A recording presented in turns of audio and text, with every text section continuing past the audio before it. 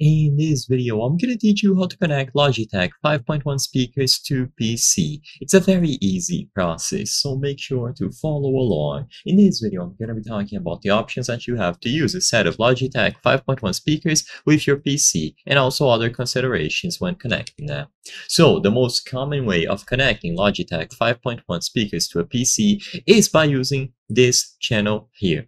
So depending on the model, this might differ, but basically most people will connect them using analog 3.5 millimeter audio jacks. So many Logitech 5.1 speaker systems like the Z506 or older models use 3.5 millimeter audio cables to connect to a PC sound card with 5.1 analog outputs. So your PC sound card will have color-coded ports Green is going to be from the, for the front left and front right speakers.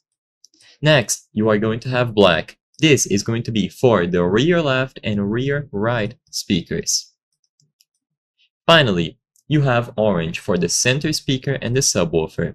So, if you notice that your motherboard or your PC has all of these connectors here, then you will be able to easily match them. So locate the three 3.5 millimeters cable coming from your Logitech subwoofer or control unit. Likely they will have matching color-coded connectors and plug the green connector in the green line out or front speaker out port on your PC sound card.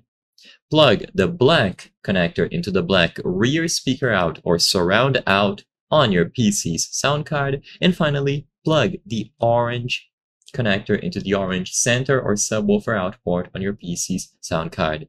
And after this is done, you simply have to go over to the control panel, go into the playback devices, and you will find your Logitech set of speakers. Set them up as the default device, and it is going to work right away. As long as you establish the connection properly, they will be detected and they can set up be set up as the default.